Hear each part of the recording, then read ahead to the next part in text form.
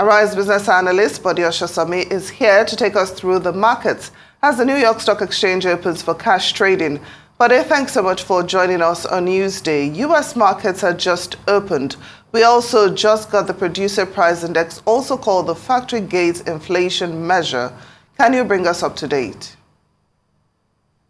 Yes, indeed, um, uh, and thanks for having me on the show. U.S. futures, just like you said, they were negative, remained negative after we got the wholesale prices or PPI data. Um, markets opened they went slightly into positive in some uh, of the indices, but I can see now that Nasdaq is down 0.74 uh, percent. Dow 30 is also down 0.21 percent. S&P 500 are also down 0.47%. Interestingly, all the major European indices are also in negative territory. FTSE 100 is down 1.33%. DAX is down 0.95%. CAC is down 0. 1.2, 1.26 percent. That's uh, CAC And if you look at even the Italian index, the main index there also also down. So the big question people ask is why is sentiment so much in the red and um, the, the economy and inflation is, is, supposedly looking good? And I think the, the, answer is that it's perhaps not looking as good as many would have liked uh, uh, it to be. We were actually waiting for this print uh, to clear the fog. Yes, we had a mixed message from the inflation numbers yesterday, the CPI, that is the Consumer Price Index, which looked mixed, especially with comments that came from Fed uh, boss, say, a Fed boss Mary Daly saying there's still a lot of work uh, to do. But the PPI didn't confirm the, the disinflation narrative. Instead, uh, we saw uh, PPI ticking up, and they're not enough to move the needle. Everybody expected, well, I expected an upside surprise. We are getting higher wage growth, higher energy and transport costs. Uh, you would expect wholesale prices to go up. So it did go up, but um, it didn't go up very uh, aggressively. The PPI and the core PPI both rose on a monthly basis 0.3%, higher than 0.2% month on month expected for, for July. PPI rose 0.1% on an annual basis in June. Expect, uh, analysts expected 0.7% um, in uh, July, but it went up to 0.8. The annual core PPI increased 2.4% in July, matching June's uh, reading. PPI is important because it, it's predictive of future movements in CPI and the personal consumption expenditure metric that the FOMC uses. But um, PPI inching up can't be really very good news. Many are saying this is the beginning of um, uh, the bottoming of this inflation. That means we are now going back uh, to inflation. We'll wait and see what we also get from the University of uh, Michigan's Consumer Sentiment Survey for, for August, which will be out also uh, shortly. But um, I think it's still looking pretty mixed, and uh, traders are trying to decide exactly what to make of this. But this week is likely to end on the back foot for most of the indices. Well, Bode, thank you. Uh, and hold on for uh, with us for a little while as we take on some more business stories and come back to you shortly. Britain's economy expanded slightly over the second quarter, and this is thanks to the strong output in June and despite inflation remaining high, official data showed on Friday. Gross domestic product grew 0.2% in the April June period after output expanded 0.1% in the first quarter the official uh, Office for National Statistics had set this on uh, in a statement. The economy grew by uh, stronger than expected 0.5% in June, sending the pound higher against the dollar in early London training. While the market mostly shrugged off President Joe Biden's move to prohibit some U.S. technology investments in China, U.S. investors said they were worried Beijing will retaliate or pull back from buying American technology, aiming to protect national security and prevent U.S. capital and expertise from aiding China's military modernization. Biden this week issued an executive order barring some new U.S. investments in China in sensitive technologies, including computer chips, while regulating others. In commodity markets, European gas prices have been jumpy on the prospect of a strike on Australian gas fields. Chevron and Woodside are in talks with workers over pay and conditions at facilities that supply about 10% of the world's liquefied natural gas. Brent crude futures looked to end the week steady at uh, close to $87 a barrel. PwC Australia's attempt to remove a partner after an internal investigation into the leak of confidential government tax plans hit a roadblock today after an Australian court ruled the professional services firm failed to follow due process. One of the partners, named Richard Gregg, filed suit and claimed PwC did not provide him with sufficient reasons to remove him from the partnership. In the media release, PwC said his actions failed to meet professional responsibilities without elaborating. Kuwait has announced an outright ban of Barbie, Greta Gerwig's pink-hued blockbuster, saying the film promoted ideals and beliefs that are alien to Kuwaiti society. Lebanon's culture minister also demanded a ban, saying the Barbie movie contradicts religious values and morality and promotes homosexuality and sexual transformation. Meanwhile, Oppenheimer, the World War epic, is also struggling to open in Japan, where critics are also displeased.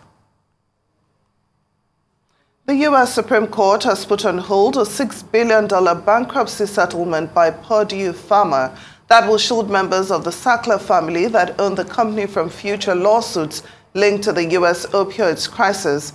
Purdue Pharma, which made the powerful painkiller OxyContin, filed for Chapter 11 bankruptcy in New York in 2019 amid a wave of litigation over its role in the opioid epidemic that has killed almost 1 million people in the U.S. However, members of the Sackler family who own the company never filed for bankruptcy.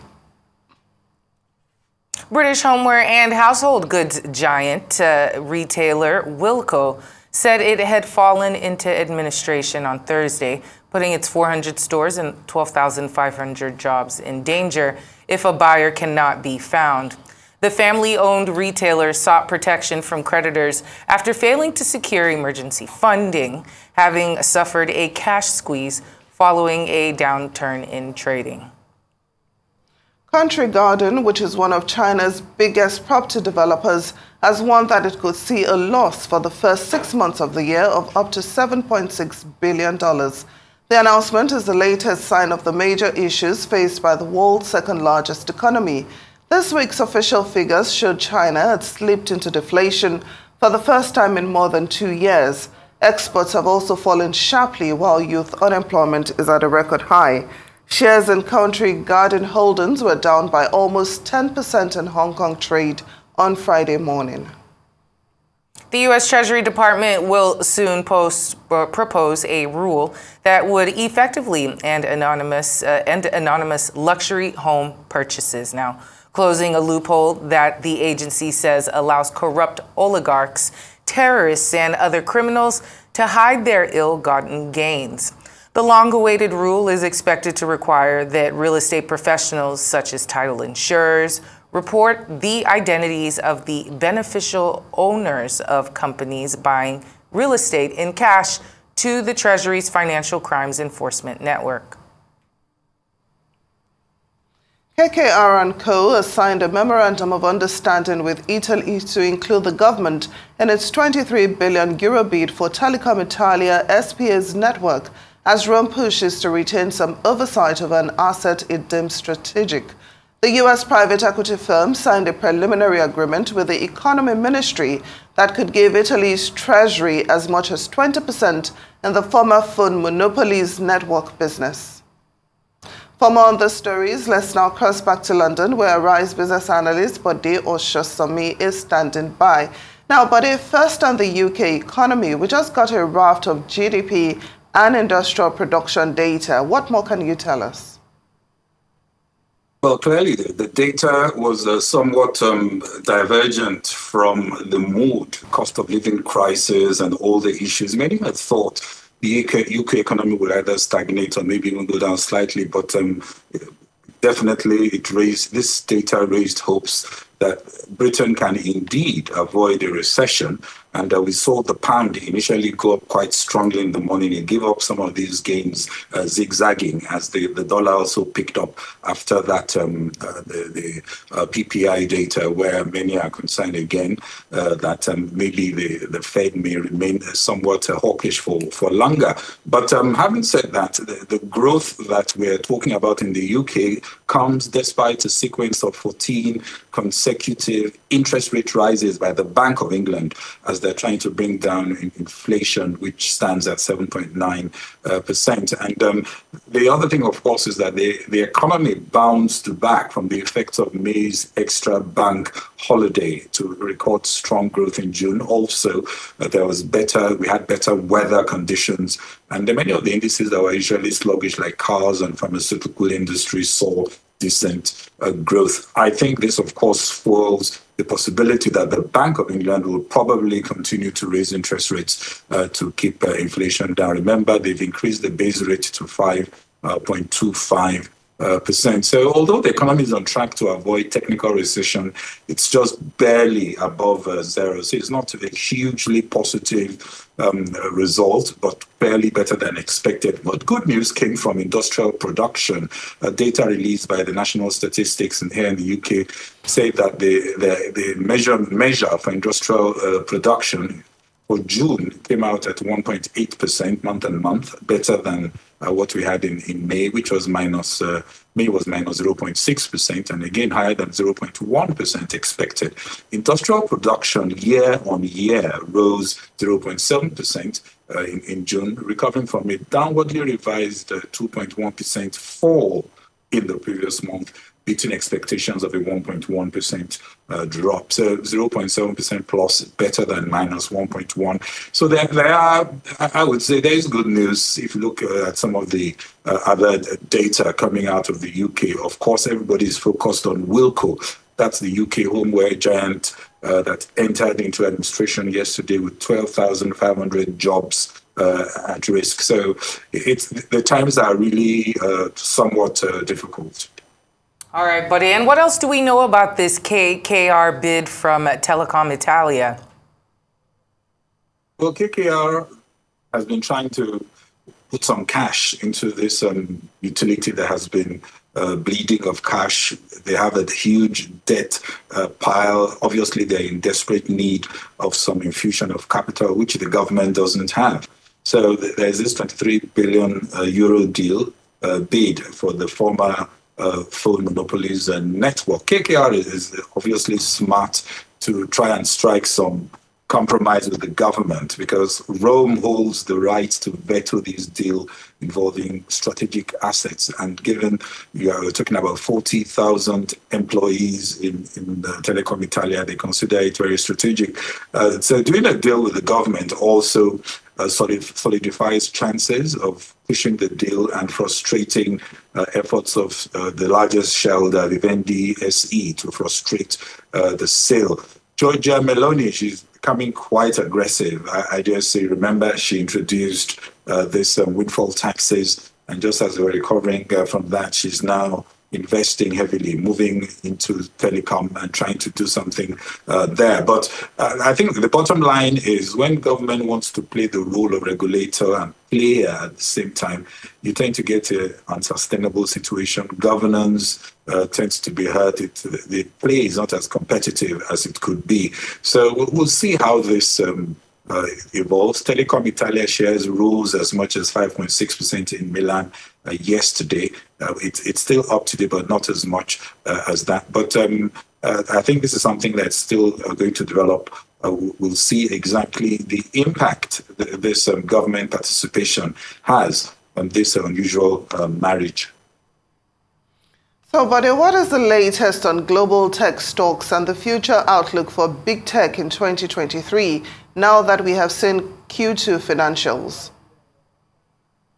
Well, the big bet so far, if you ask um, investors, they say it's still on the NASDAQ, the new technology plays, AI, and so on, for want of anything uh, else. But if you look at um, today, for example, Um, the ETF that focuses on uh, Nasdaq, that's QQQ ETF, is down two point uh, is down 0.79 percent. Amazon is down 0.64 percent. Meta is down 1.18 uh, percent. Nvidia is down uh, 1.93 percent. Google is also down 0.82 percent. Apple is down 0.34 percent. Microsoft is down 0.85 percent. Tesla down a whopping 2.38 uh, percent. So the, the Nasdaq actually crashed below its 50-day uh, working average, moving average, sorry, for the first time since uh, since March this week. That puts it on track for its worst stretch of losses uh, since uh, December. Also, last week, the popular Nasdaq 100 QQQ, uh, that's the, index I just read, that is down 0.74% down, also uh, went down below its um, the 50-day moving average. So we're seeing these trends that suggest that um, things are not so well with the so-called Magnificent Seven. That's Apple, Meta, Tesla, Nvidia, Amazon, Alphabet, Microsoft. They've all closed below their 50-day averages this week. Many believe the Nasdaq is going to close, is going to shut down, uh, maybe down five percent this week. So why is all this happening? I'll just very quickly run through my initial thoughts. Uh, Fed President Mary Daly said today that the Fed still has more work to do to tame inflation. Treasury yields went higher as a result of that, putting more pressure on stocks, especially the big tech names that are particularly sensitive to interest rates. Secondly, the narrative on AI, digital commerce, virtual reality, the new big bets are coming across as more mixed rather than uh, a more bullish, uh, certain uh, narrative. And I think it's driving more caution than optimism. We're also seeing a rebalancing of the NASDAQ away from big tech. The seven stocks with the heaviest weightings in the NASDAQ are seeing their collective weight being reduced to 44% from 56%. This implies that if we don't see a broadening of the rally that we saw in H1, the NASDAQ will see a, a drop. And then, of course, the US ban on technology investments in China and all the, um, well, the Cold War in that space. Clearly, Beijing is going to have to do something to retaliate. And uh, it's easy for them to pick on an apple or make things difficult for some of these uh, big tech players. And the rising anti-merger anti-big tech regulatory mode is also something uh, to watch. My sense, in conclusion, is that even though more than a few hurdles will have to be scaled, the, the financially buffered, larger big tech uh, plays uh, with diversified business models will come up mostly intact. But the smaller, narrower, more vulnerable plays uh, may sink in, in, in, the shakeout, especially in Q4. In short, we could see more of a divergence in fortunes, even though everybody still says big tech is, is the place uh, to be. Well, that seems to be the case. Thank you so much for joining us this afternoon, of course, uh, Bode Ososami.